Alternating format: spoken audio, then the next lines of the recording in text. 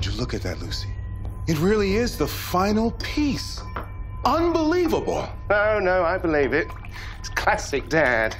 Hanging the final piece of the flaming sword right under our noses. Well, your nose this entire time. I know, right? It's ridiculous.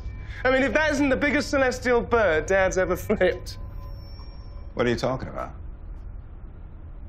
This means that I'm the favorite son. Uh, no. It means that once again, Dad is manipulating us six ways to Sunday. But hey, what's new? At least we have it now. So.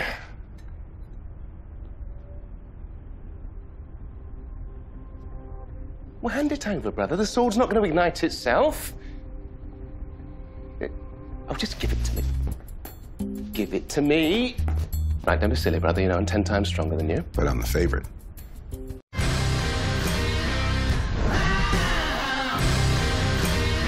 Hello. You want to see more of me? Subscribe below.